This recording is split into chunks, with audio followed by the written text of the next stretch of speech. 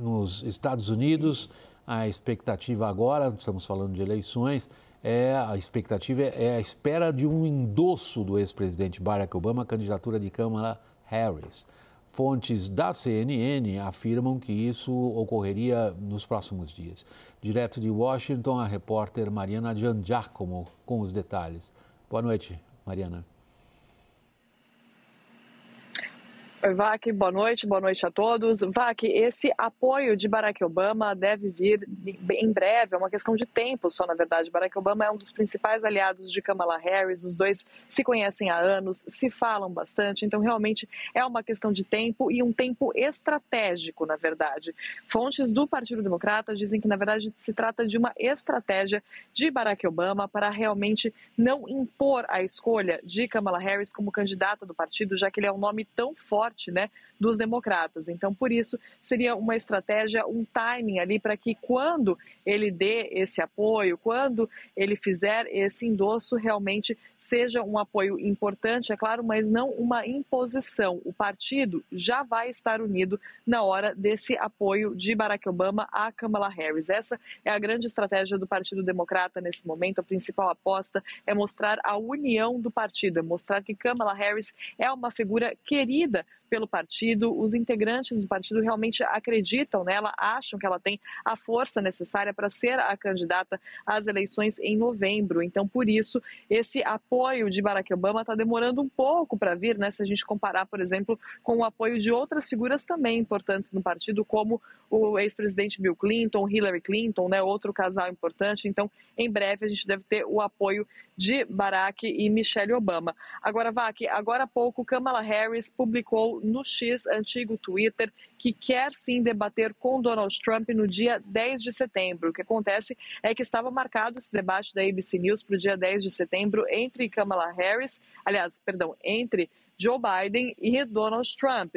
Já estava tudo certo, os dois tinham combinado. E agora Kamala Harris disse então que ela quer debater no lugar de Joe Biden falou que Trump já tinha concordado, mas que agora está recuando. Então foi ali uma intimação né, da Kamala Harris em um tom de piada ali, mas realmente um desafio para Donald Trump. Ele que disse que gostaria sim de debater com Kamala Harris, mas disse que o que tinha concordado era com um debate com Joe Biden. E até o escolhido para vice na chapa de Donald Trump falou sobre esse debate também em um evento de campanha nessa semana. J.D. Vance disse que ele é quem debateria com Kamala Harris e agora será Trump e que ele queria ter essa chance na verdade, né? Porque, claro, haveria ali o debate entre os candidatos à vice-presidência dos Estados Unidos e agora Kamala Harris deve participar desse debate, né? Se de fato acontecer como candidata a presidência dos Estados Unidos. Então, agora é o momento, claro, de os democratas passarem por essa transição, mudarem a estratégia, né? Claro, você muda o candidato, você muda tudo, né? Então, Kamala Harris já vem assumindo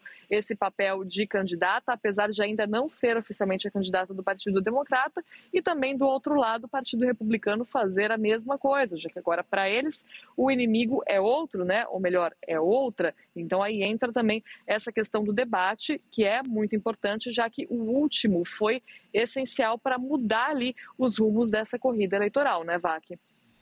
Obrigado, Mariana. Boa noite para você aí em Washington. Lorival Santana, há dúvidas quanto que Obama acrescenta à campanha de Kamala Harris? Bem, uh, o Obama ele trafega hoje em dia no mesmo, na mesma base que a Câmara já, já detém, né? Então, realmente não é algo é, que vai acrescentar muito. Nesse sentido, é que o, o Joe Biden tinha esse papel né, de, de uma, um líder moderado dentro do partido. Eu digo tinha porque o Joe Biden perdeu esse capital político Primeiro, por causa do preço alto, né, das, da carestia. Eu não falo inflação, porque atualmente a inflação está baixa, mas os preços estacionaram num patamar alto. Esse é o problema eh, da, que a Kamala Harris enfrenta nessa eleição.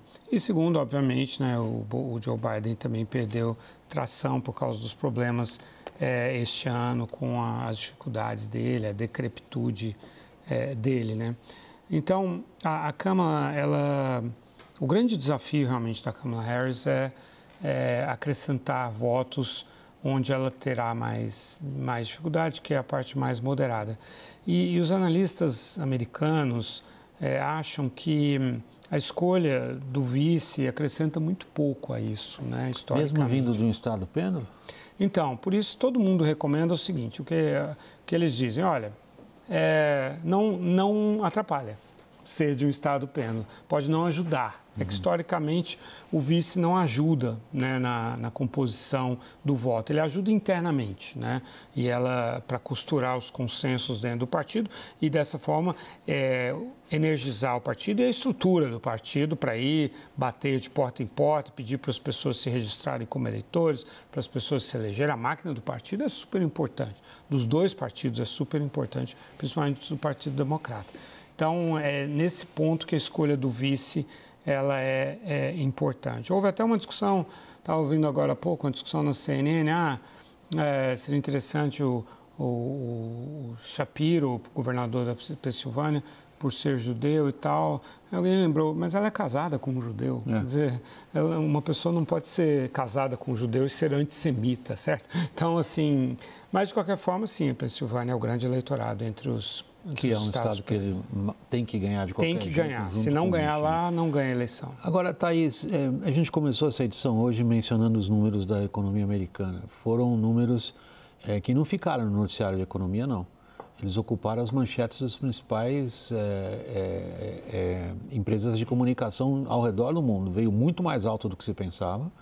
Reforçou a ideia de que o, o Fed, o Banco Central Americano, vai proceder a cortes de juros isso tem um impacto planetário enorme, independentemente da eleição americana, mas também na eleição americana. Então, quem que ajuda mais aí no caso? Então, William, é um, vai ser uma decisão bastante sensível. É muito num, Banco Central tão é, é, forte institucionalmente como é o Federal Reserve, é, tomar uma decisão de política monetária a, a dois meses das eleições, e isso pode voltar a acontecer. Hoje a expectativa é de que haja redução dos juros em setembro, em novembro, depois das eleições, e em é, dezembro. É, no começo do ano, só para você ter uma ideia, no começo do ano havia uma expectativa de sete cortes, depois caiu para zero e daí volta para um corte, dois cortes, e agora, é, mesmo com uma leitura de que a economia americana segue num ritmo mais acelerado, as pressões que geram preocupação no Banco Central, elas diminuíram. Então, há um debate hoje sobre como a decisão do Banco Central de política monetária, que tem uma correlação forte com os fundamentos e com o que está acontecendo na economia, vai prejudicar a credibilidade do próprio Banco Central. Que tipo de ataque o Banco Central vai sofrer, por exemplo, é, é, de ser acusado de estar ajudando Kamala Harris, porque o governo que está é, e que vai, de alguma forma, cantar a pedra pela redução dos juros é o governo Biden, não é o do Trump. Né? E o Trump já falou várias vezes, ele por ele, ele já disse, meu primeiro dia eu vou baixar os juros. Então, ele já começa uma campanha desafiando a credibilidade Agora, do BC. outra pressão forte no Banco Central americano, é só, só, só rápido para passar a palavra para o Caio, que é o mercado de trabalho americano começa a dar sinais de enfraquecimento. E aí, a decisão deles, como a gente já viu acontecer em vários outros países, inclusive aqui, fica mais difícil, Thaís.